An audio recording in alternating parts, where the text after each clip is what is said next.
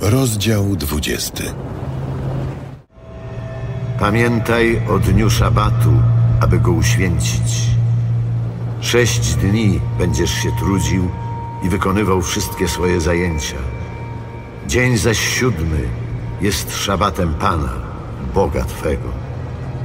Nie będziesz przeto w dniu tym wykonywał żadnej pracy, ani ty sam, ani syn twój, ani twoja córka, ani twój niewolnik, ani twoja niewolnica, ani twoje bydło, ani przybysz, który przebywa w twoich bramach. W sześć dni bowiem uczynił Pan niebo, ziemię, morze oraz wszystko, co jest w nich. Siódmego zaś dnia odpoczął.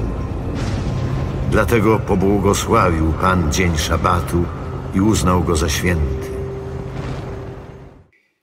Witam serdecznie na kanale Zakochany w Biblii, gdzie wspólnie czytamy Biblię ze zrozumieniem.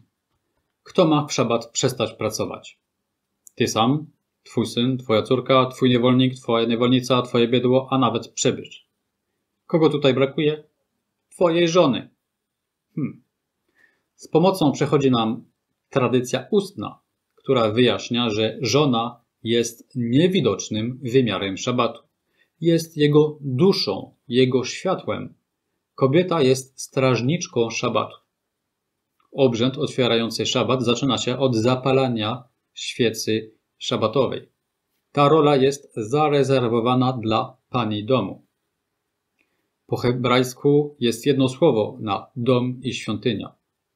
Zapalenie świecy szabatowej w każdym domu przez kobietę odzwierciedla zapalenie menory, siedmioramiennego świecznika, przez arcykapłana świątyni jerozolimskiej.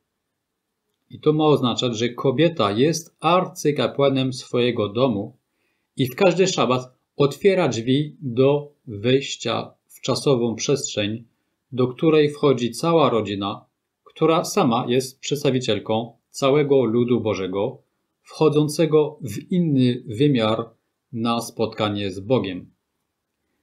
Dom jest małą świątynią, szczególnie w czasie szabatu, jak zostało to opisane u Ezechiela. Tak mówi Pan Bóg. Wprawdzie wygnałem ich pomiędzy narody i rozproszyłem po krajach.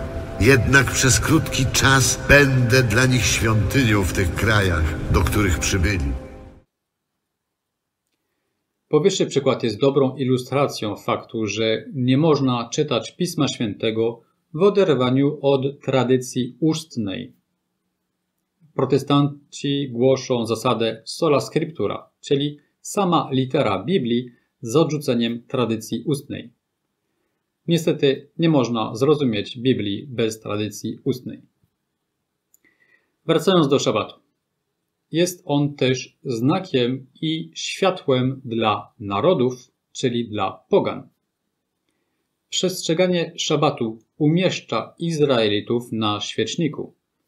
Naród wybrany przez Boga objawia wszystkim ludom chwałę Bożego imienia i odrywa wzrok ludzi od wymiaru przestrzennego do wymiaru czasowego, do stwórcy czasu i przestrzeni. Objawienie na górze Synaj pokazuje, że czas jest ważniejszy niż przestrzeń. Na przykład miejsce góry Synaj jest nieokreślone, a więc żadne miejsce jest na tyle święte, żeby trzeba było je czcić, podczas gdy czas objawienia Bożego na Synaju ma być przechowywany w pamięci przez wszystkie pokolenia. Poprzednie przykazanie dekalogu było związane z zakazem przedstawienia Bożej podobizny w świecie materialnym. Nie wolno czcić jako bóstwo żadnego posągu ani obrazu, ponieważ Bóg znajduje się gdzie indziej. Gdzie w takim razie można Boga spotkać? Boga można spotykać przede wszystkim w czasie, w wydarzeniach, poprzez które rozbrzmiewa odwieczne słowo stwórcze, ale również w naszych bliźnich, o czym będzie mówił następne przykazanie dekalogu. Do usłyszenia. Pamiętaj o dniu szabatu, aby go uświęcić. Sześć dni będziesz się trudził i wykonywał wszystkie swoje zajęcia. Dzień zaś siódmy jest szabatem Pana, Boga Twego.